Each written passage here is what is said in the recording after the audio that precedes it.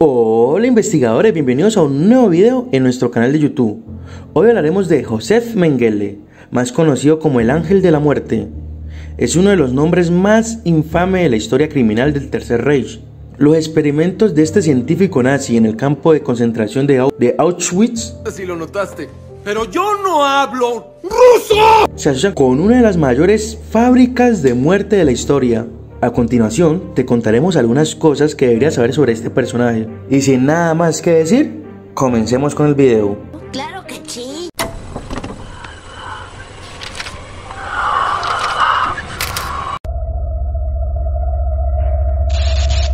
De acuerdo con Jorge Camaraza, escritor argentino y asesor del Centro Simón, institución dedicada a la memoria del holocausto y acreditada por la UNESCO, el contexto de Mengele era uno en que el fanatismo ganaba impulso y conceptos como ciencia de la raza, higiene social, herencia y eugenesia derramarán su influencia en la política y la medicina, excediendo los límites académicos y pasando a formar parte de las conversaciones cotidianas. Josef Mengele nació un 16 de marzo de 1911 al sur de Alemania. Era el mayor de tres hijos de una familia acomodada, donde su padre era el dueño de una empresa de maquinaria agrícola, hasta el 2010 donde fue comprada por una firma holandesa. Mengele llegó al lugar donde se hizo infame por sus atrocidades el 30 de mayo de 1943, a la edad de 32 años. Junto a él hubo otros médicos igual de siniestros, pero menos conocidos que también se habían dedicado a experimentar con seres humanos. Entre esos se destacaba el profesor Carr, especializado en la esterilización máxima de prisioneras, el cual utilizaba como excusa que eran pruebas ginecólogas y les introducía sustancias químicas en las partes íntimas de sus víctimas. Volviendo con Josef Mengele, primero fue médico del campo gitano, en Auschwitz, más adelante, entre agosto y diciembre de 1944, obtuvo el puesto de jefe de toda esa área. En su condición de médico del campo, Mengele gozó de ilimitada, entre comillas, materia prima para realizar sus experimentos, dando como resultado que lo empezaron a llamar el ángel de la muerte. Más adelante hablaré de algunos de sus locos y terroríficos experimentos. El 17 de enero de 1945, el ángel de la muerte huyó del campo de concentración, 10 días antes de que llegara los soviéticos y liberaran el campo.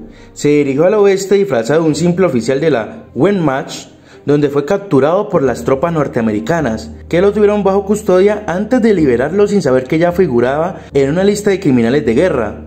La utilización de documentos falsos y no tener tatuado su grupo sanguíneo en el brazo izquierdo, como era usual en los miembros de la Waffen, lo ayudó a evadir la justicia y poder ser libre en ese momento. Luego de ese acontecimiento, en el año 1949, mes de junio, llegó Mengele a Buenos Aires. Allí frecuentaba a otros nazis buscados por la justicia, como Adolf, con quien solía reunirse muy seguido. Wow, me sorprende que llevas más de 3 minutos viendo el video y no le has dado me gusta ni te has suscrito al canal. Wow, pero dale, dale, esto es gratis. Sigamos.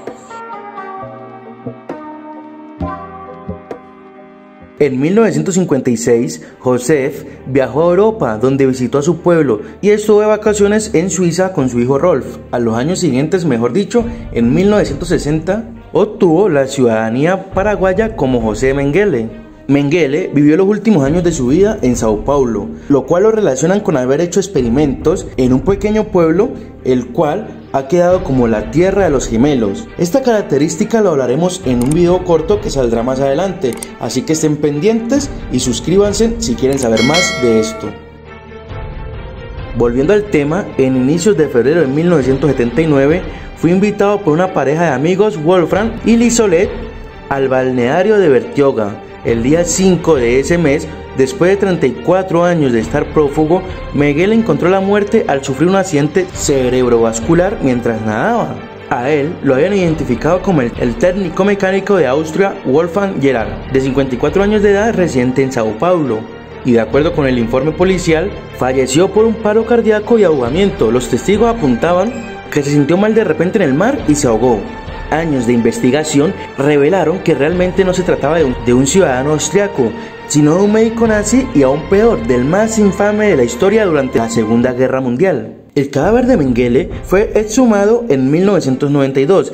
Tras realizar pruebas de ADN, se confirmó que esos restos correspondían al ángel de la muerte. Finalmente su hijo Rolf confirmó que se trataba de la tumba de su padre.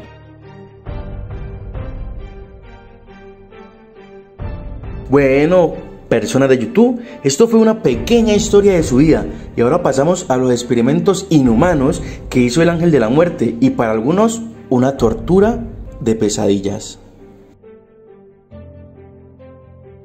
Mediante inyecciones de productos químicos intentaba cambiar el color de los ojos de algunos niños para que fueran azules. Intrigado por los siameses, cosió a dos niños por la espalda para así poder analizar su progresión. Ambos murieron por la infección que les dio frutos a esta operación. Era un firme defensor de la raza aria, en la que daba como resultado que para él existía una raza humana superior a todas las demás y para preservarla desarrolló nuevos métodos de esterilización en mujeres dolorosos y a veces letales. Estudió si resultaban viables las transfusiones sanguíneas entre gemelos. La mayoría de personas que utilizó fallecieron a causa de las pruebas. Inyectaba a varios presos gérmenes letales para estudiar sus efectos. Los nazis investigaron con mucho interés las armas biológicas. Para conocer la reacción física y mentales de una persona ante un cambio de sexo, hizo esa operación a niños, principalmente gemelos. Obligaba a hermanos a mantener relaciones con el objetivo de estudiar la calidad de los hijos resultantes.